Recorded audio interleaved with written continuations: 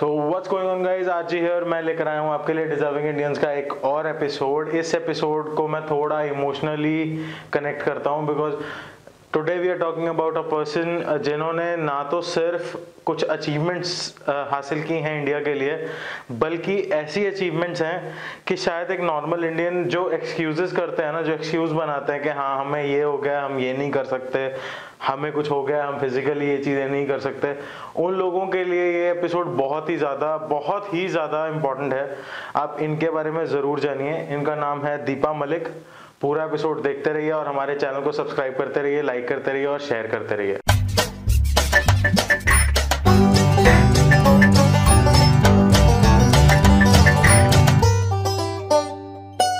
जय हिंद इंडिया। मैं लेकर आया हूँ आपके लिए डिजर्विंग इंडियंस का एक और एपिसोड जिसके अंदर हम ऐड कर रहे हैं कैसे नाम को, जिनका नाम लेने में ही मुझे बहुत प्राउड फील हो रहा है। इनके बारे में एक्चुअली मुझे भी नहीं पता था टू बी ऑनेस्ट मुझे इनके बारे में तब पता चला व्हेन शी एंटर्ड केबीसी तो guys her name is Deepa Malik and 49 nine years of age and guys let me tell you जो अचीवमेंट्स इनकी है ना, अगर हम में से कोई एक अचीवमेंट भी इनके बराबर की ले आए देन मेरे ख्याल से वो अपनी लाइफ के अंदर कुछ एक बड़ी अचीवमेंट को सारी ज़िंदगी गाता फिरेगा। लेकिन इन्होंने जो किया है, देश मतलब एक बहुत ही बहुत ही बड़े लेवल पर, देश के लेवल पर भी नहीं internationally she has taken India to some another level I would say because Paralympics के अंदर शी हैज़ वन सिल्वर जो कि शायद इंडिया में आज तक कभी कोई मेडल ही नहीं आया। 2016 में रियो डी जेनेरो में जब पैरालंपिक्स हुए she won silver and that too in shot put guys and I think ये एक बहुत ही बड़ी अचीवमेंट है।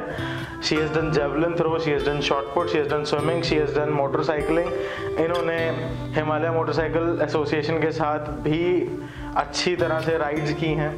एंड 1700 किलोमीटर तक she has driven a bike तो गाइज़ एक बहुत ही बड़ी अचीवमेंट एक एक लेडी हम बोलते हैं ना, हमारे देश के अंदर women is not empowered she is empowered guys and I think she is one of those people जिनने ना तो सिर्फ़ लड़कियों के लिए एग्ज़ाम्पल सेट किया है, बल्कि मेरे जैसे, आपके जैसे कई लड़कों और कई इंडियंस के लिए ये एक एग्ज़ाम्पल सेट करती हैं। इनकी स्टोरी के बारे में अगर आज की डेट में हमारे बच्चे जानते हैं तो she is a truly deserving Indian who created history for the future and guys she is a person to be followed और आप लोग जाके इनकी स्टोरी के बारे में ज़रूर जाने, जितना मैं जान सकता हूँ, मैं आपको बताता रहता हूँ। तो गाइज़ मेरा इस शो बनाने का पर्पज़ यही होता है कि हम उन लोगों के बारे में बात करें, जिन लोगों ने इंडिया के लिए या इंडिया को किसी एक अच्छे लेवल पर रिप्रेजेंट किया है, या फिर इंडियंस को एक मोटिवेशनल करियर दिए हैं। शी है she is been one of those person जिनकी करियर के बारे में अगर आप जानोगे तो और अपने बच्चों को भी बताओगे तो वो बच्चे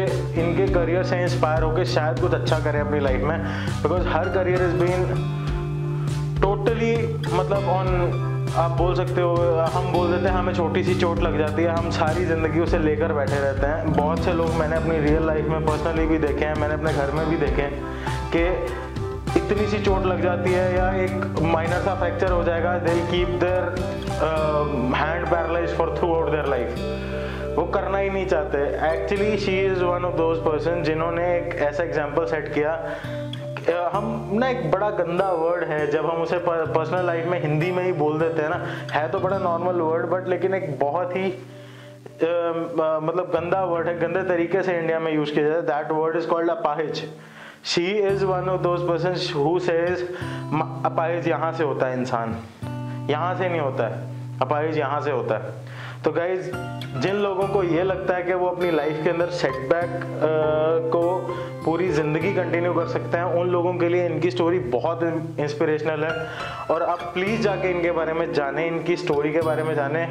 I put her through to the deserving Indians list and guys मैं एक्चुअली एक बात बोलता हूँ she is been one of those person has inspired me I was one of the person who was very good in cricket and I started playing it at a very good level एक छोटी सी injury हो गई and I just stop playing it और आज इनकी story देखने के बाद, इनके बारे में जानने के बाद मुझे ऐसा लग रहा है I could have played well I could have continued I would have not went for that dilemma of getting hurt and not continuing my career and but एक एक्चुअली बात बोलता हूँ आप लोगों से, कि गाइज़ छोटे वोटे लगना, मेरे हिसाब से तो एक बड़ी सिंपल सी बात होती है कि एक इंसान अब मैं क्या बोलूँ, एक इंसान को अगर एक चोट लगती है, तभी पता चलता है कि वो जी रहा है। हम चिल्ला सकते हैं, हम कर्रा सकते हैं, वो हम ह्यूमन हैं इसलिए। And you should not feel like कि आपकी ज़िंदगी में एक ट्रेजिडी हो गई है and you you can continue your career ahead so she is the biggest example इनके बारे में पढ़िए, इनके जैसे और बहुत से लोग हैं जिनके बारे में आप पढ़िए।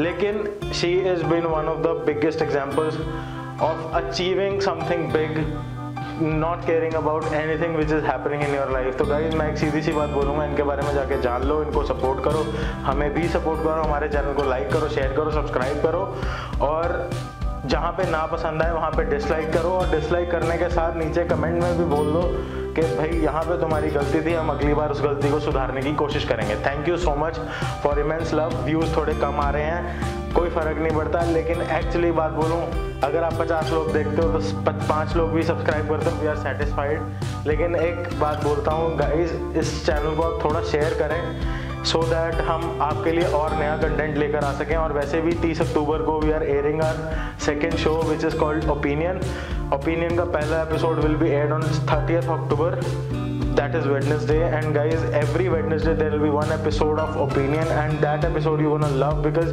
वो एक पब्लिक ओपिनियन के ऊपर बेस्ड शो है। और बहुत ही जल्द मैं गिव अवे ब्लॉग भी अनाउंस कर दूँगा। तो गाइज़ जल्दी से जल्दी इस चैनल को शेयर करो लाइक करो और सब्सक्राइब करो। And we want your support we actually need it. Thank you so much. Jayan.